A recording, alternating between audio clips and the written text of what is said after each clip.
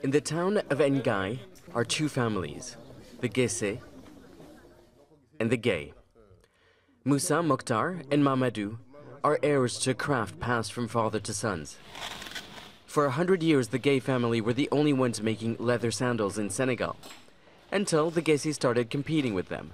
Each have their technique, their secrets, in making what they call the perfect sandal.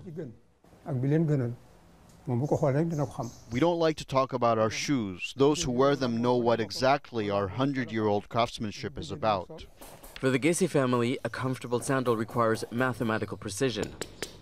Part of our secret is that we use local leather for the sole and the heel of the shoe. That's what makes our sandals special. It is during the Muslim celebration of Eid that people come from as far as neighboring countries in search for the perfect fit, purchasing the products made by the competing families.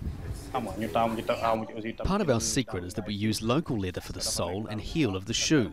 That's what makes our sandals so special.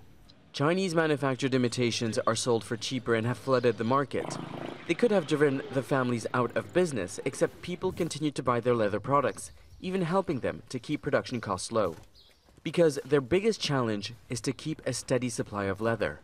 Often, they have to import it from Italy or Spain, but not during the yearly Muslim festival of Eid, also known as Tabaski. Sheep and goats across the country are sacrificed during the Muslim celebrations. Some of the animal skins are donated to the town which supplies the shoemakers. And so, for a brief moment, family rivalries are put aside and the abundant leather is shared.